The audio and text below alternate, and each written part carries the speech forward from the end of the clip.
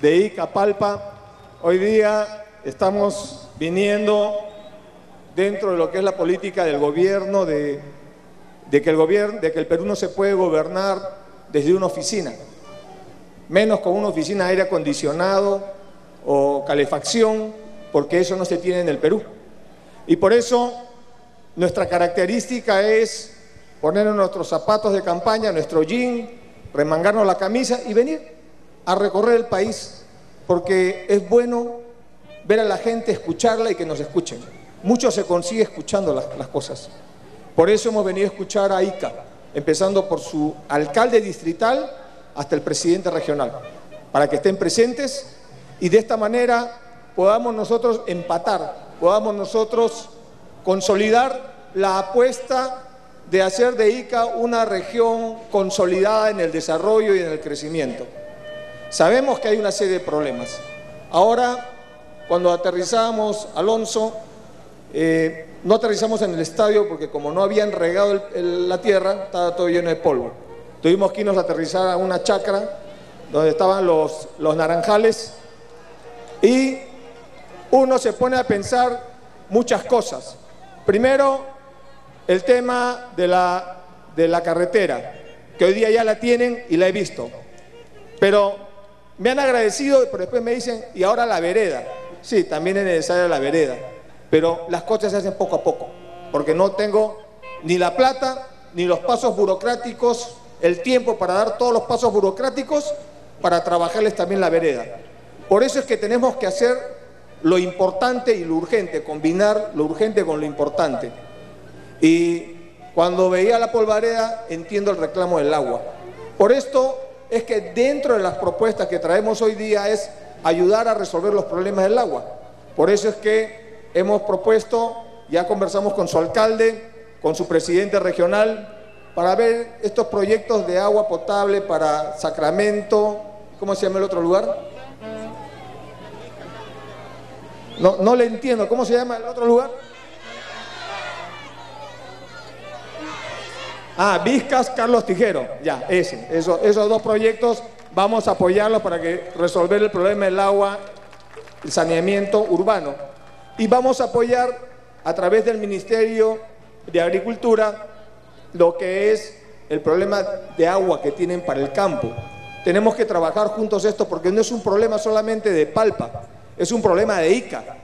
Porque en ICA, si bienes han tenido el boom agroexportador, esto lo han hecho con pozos de agua del subsuelo que hoy día se está agotando y que eso está haciendo que el agua del mar ingrese por el subsuelo y comience a salinizar las tierras y perdemos tierras para la agricultura. Por eso es que ya estamos trabajando con su gobierno regional, con el Ministerio de Agricultura, con cooperación extranjera para buscar una solución rápida y efectiva a este problema. El Perú se ha construido de a pocos y se ha construido de manera desigual, de una manera tal en que se construyó la capital del Perú y el resto fue la periferia. Y Palpa también es parte de esa periferia, de esa periferia que, que en este caso de Ica es la, es la capital, Ica.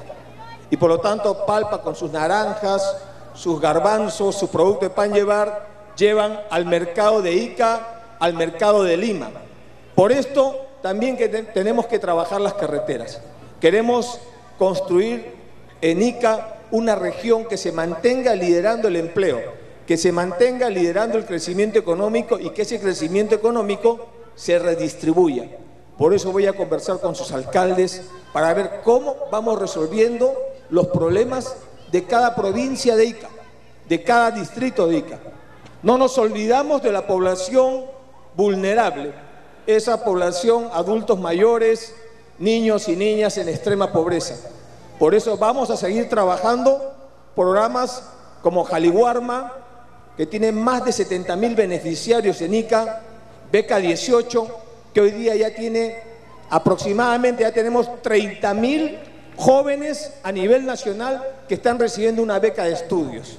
Vamos a seguir trabajando los programas como Pensión 65, para apoyar a nuestros adultos mayores de 65 años y que son de la extrema pobreza.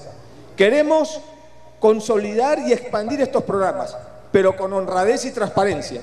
Por eso, a veces cuando yo llego me llevan un papelito y me dicen, soy fulano de tal, póngame en pensión 65. ¿Cómo lo puedo poner si yo no lo conozco?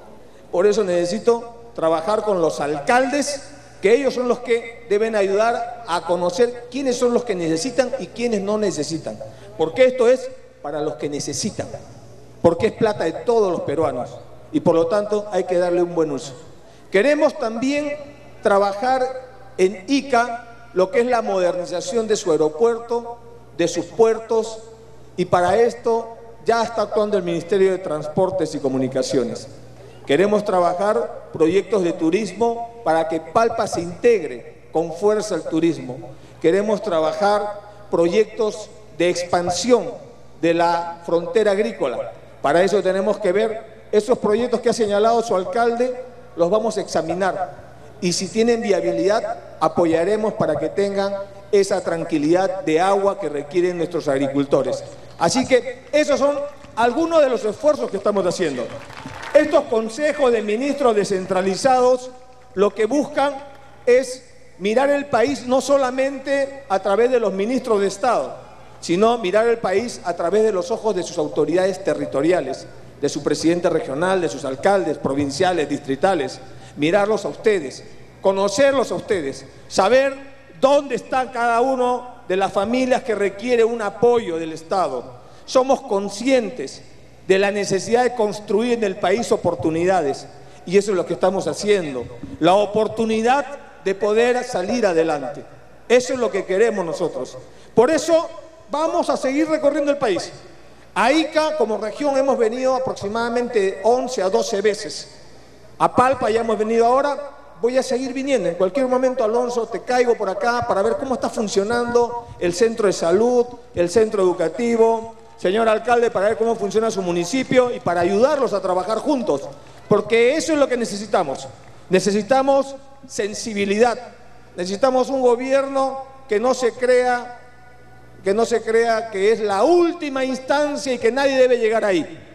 Somos una república en la cual el presidente es un compatriota más que más bien les dice muchas gracias por el apoyo que me dieron para estar aquí parado y poder permitirme seguir trabajando y seguir apoyando los proyectos que tienen impacto en la población.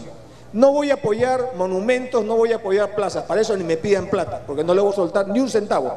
Pero sí voy a apoyar agua y desagüe, voy a apoyar mejoramiento de las escuelas, mejoramiento de hospitales, proyectos de irrigación, carreteras, eso sí voy a apoyar. Y para eso cuenten conmigo. Por eso estamos aquí hoy día. Estamos aquí con el Consejo de Ministros. Que todos los ministros conozcan también Palpa. Que todos los ministros sepan que el sol aquí quema. Que sepan cómo vive la gente. Que conozcan sus casas, que vean todo. Porque esa es la manera que podemos hacer que el gobierno se integre con su población. Eso es lo que queremos nosotros hacer. Por eso vamos a estar aquí hoy día a conversar, a dialogar con sus autoridades y al final vamos a emitir un comunicado, un acta de compromiso donde están los compromisos al 2016 de este gobierno con ICA y particularmente con Palpa. Te agradezco, alcalde, por haberme permitido venir aquí, tú como anfitrión. Alonso también, muchas gracias por habernos recibido con este cariño y Seguiremos trabajando con todos ustedes. Acá están los ministros, han venido a hablar con sus alcaldes, a recibir todas las demandas, las expectativas para buscarles una solución. Hemos venido a ayudar a su gobierno regional, a sus municipalidades, a resolver los problemas locales, que son los problemas que tienen ustedes hoy día. Así que cuenten con nosotros, ahora nos quedamos en Palpa a seguir trabajando. Muchas gracias a todos ustedes. Un fuerte abrazo. Un fuerte abrazo de parte mía, de parte de Nadine y de parte de todos los ministros de acá, de su gobierno. Muchas gracias. Que viva Palpa, que viva Ica y que viva el Perú. Muchas gracias.